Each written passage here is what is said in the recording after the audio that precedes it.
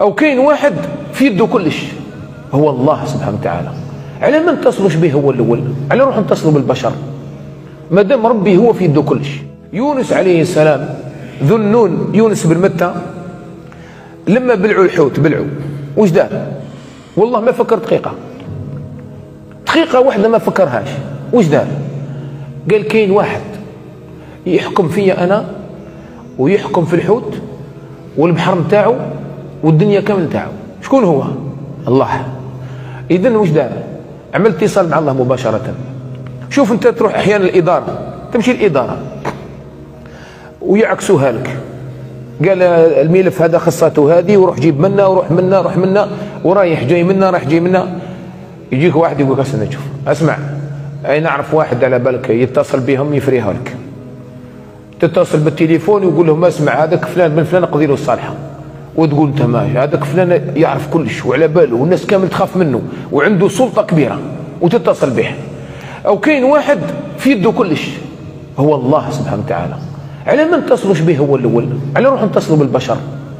ما دام ربي هو في يده كلش في يده كلش. اذا اتصل به والله يجيب لك الدنيا في بين يدك.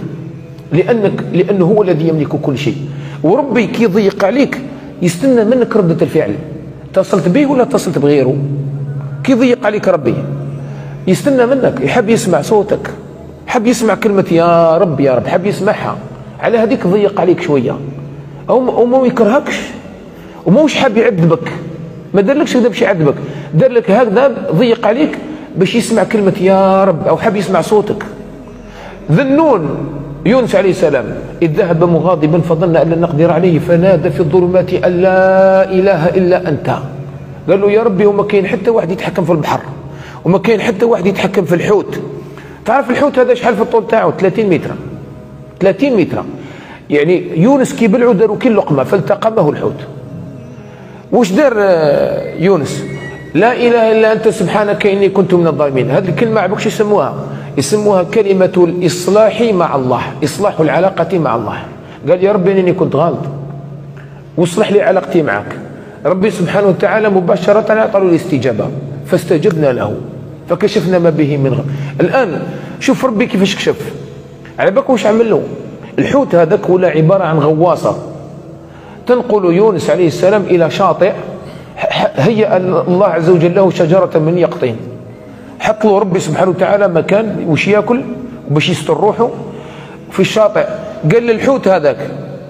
هذاك الحوت الآن إحنا بالنسبة لنا لو كان نروح نصوروه في Nat Geo غرافي وش نسميوه؟ حيوان مفترس ولا لا؟ ربي ربي قال لنا ماهوش حيوان مفترس. كي تتصل بيا هذاك الحيوان المفترس نرجعه لك وسيلة نقل. ينقلك. نقل ربي عز وجل إلى الشاطئ. اذا انت انت لما تكون في كربة من الكروبات لما تكون عايش في كربة من الكروبات لازم تتصل بالله. اتصل به أو لو كان ما يعطيكش الاذن هو باش تحبس ما تحبسش. والله وين نفتحوا راسك وندخلوا لك القرآن داخل ما تحبس. لازم تتصل بالله. أنا نقول لك ما كاش طريق إلا بالاتصال بالله.